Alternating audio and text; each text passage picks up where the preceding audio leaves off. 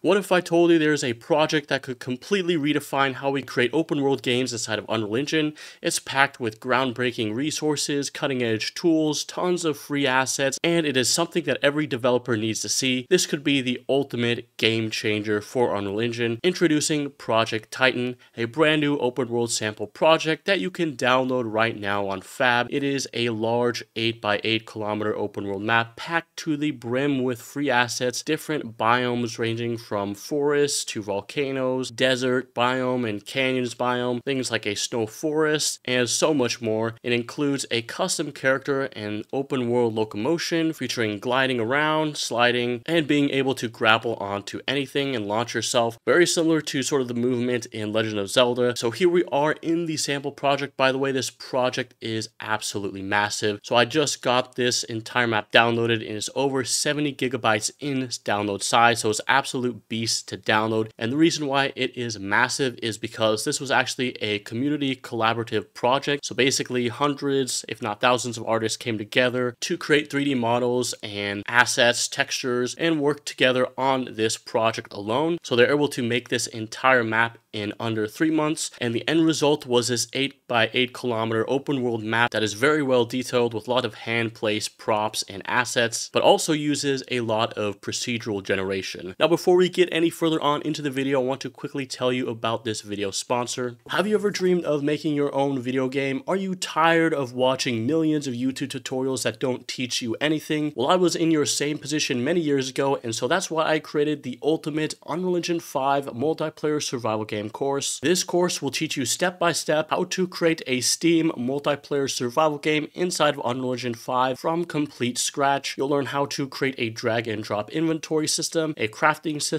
where you can craft different types of tools and items. We'll create a harvesting system and gathering system where you can chop down trees, you can mine rocks and pick bushes. We'll add a complete building system where you can build a base and a raiding and clans or tribe system so you can raid other players. We'll even add this open open world map and show you how to host the game on a server on Amazon Web Services. This course is jam-packed with over 250 course lectures and over 70 plus hours of content to help you get started on your game development journey in Unreal Engine 5. And I made this course because it was extremely hard to get into game development because there was no course like this that shows you start to finish what it takes to make a game. You can pick up the course right now on my website smartpoly.teachable.com or click the top link in the description description below. You can get the course right now with a big discount. The price of the course will be raised later on, and you don't want to miss out on this limited time offer. So take your game development skills to the next level and check out the course link in the description below. Yeah, so here we are in the project and we can go ahead and take a look. A couple of things that you guys need to note are the controls. So we have our basic character over here. We can jump, we can sprint, and a neat little thing about the jump or the movement locomotion is depending on how long you hold down the spacebar, will actually determine how much of a jump they will take. So if you just tap it, you'll see that we have just a simple jump. Okay, so we have our glider. So if I hold down spacebar, that will actually allow us to glide, which is pretty neat. It's kind of like the you know Legend of Zelda. Glider isn't that fast though, so it's not really a great way to get around the map. The faster method is to use the walk. So if you press F, you can see that will launch sort of this walk that you can actually slide around the map with. And the neat thing about the movement is it's all set up using the new mover component inside of Unreal Engine 5, which is sort of like the character movement component 2.0. So this new movement component is supposed to be fully, you know, multiplayer replicated and also has things like network prediction, which is very useful for multiplayer games. But yeah, we can go ahead and you can actually even float on the water with this. So it's sort of like a boat as well. So yeah, this map is absolutely massive. And I'll show you guys the end of the video, just a zoom out of the entire map. It's a 8 by 8 kilometer map and it is packed to the brim and detailed with tons of unique assets. That's why it's such a large package size. It's about 70 gigabytes in size for the entire project is because they have all these different unique user created assets. So no town is similar in the fact that you have, you know, the same buildings. They use a lot of unique different props and it's very well detailed. Like even the interiors of the buildings have unique props. It's not like an open world game where you'd go into some village and they'd have the same building for each building in the town, and then you go walk inside of the building and it has, you know, the same bed, the same sort of props in the inside. But yeah, here you can see there's a massive volcano. And so this is using World Partition feature inside of Unreal Engine 5. So basically World Partition allows you to have open world maps by streaming in parts of the map at runtime. And also has a LOD or HLOD in the background. So you can see, you know, points of interest in the background like a massive volcano. Yeah, here we are in some sort of forest biome and the frame rate isn't the best right now because I'm running this in, you know, in the editor. So it'd probably run better if I were to actually package the game, which I might actually do and make a separate video about that. So yeah, we're spawning in again and here we are. You kind of spawn in the center whenever you hit the play button. So if you want to actually play in a different region, you can either, you know, set, reset the spawn point. But there's a couple of other locomotion movement things that you can do. You can use the grapple hook. So basically how the grapple hook works is you're to right click and then left click and that will allow you to grapple. So you can right click and sort of aim. And once it turns green, you can only grapple upwards you can sling yourself forward. So it's sort of like a, I don't know, Spider-Man sort of move.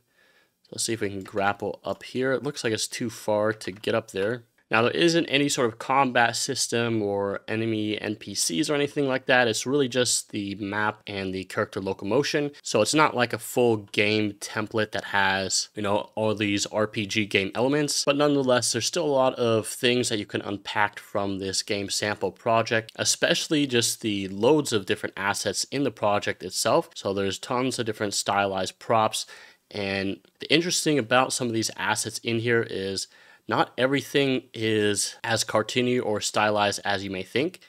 Yeah, in fact, some of the assets are nanite, have nanite tessellation, so they're very extremely detailed in geometry, even if it might not look like that because of, you know, the stylized cartoony look. But yeah, this project is packed with lots of asset packs. So I believe you can actually use some of these assets in your games and actually export them out and use them sort of as props that you can use because there's tons of unique assets. So you can see like this wagon over here. This thing is really nicely detailed.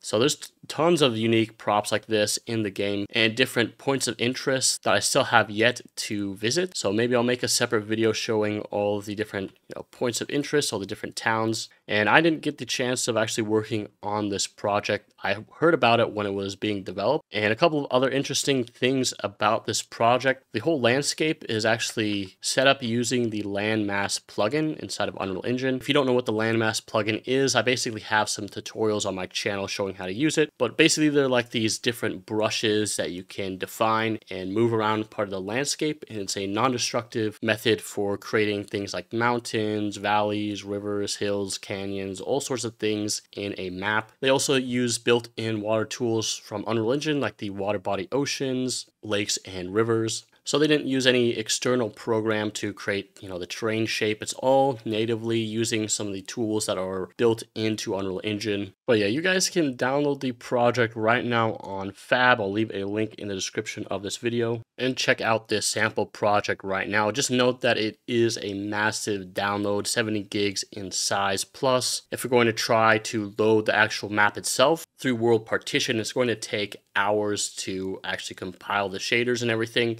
And if you don't have the strongest PC, it might take even longer than that. I mean, it took me just a couple of hours just to load into everything. And even then it was pretty laggy itself, but maybe I'll make a separate video on how to use some of the free assets from this game, how to extract them and use them in a separate project because there's a lot of good stuff in here and I think a lot of people could benefit from using the assets. But yeah, that's pretty much it for this video. So let me know what you guys think about this down in the comments down below and I'll see you guys in the next video.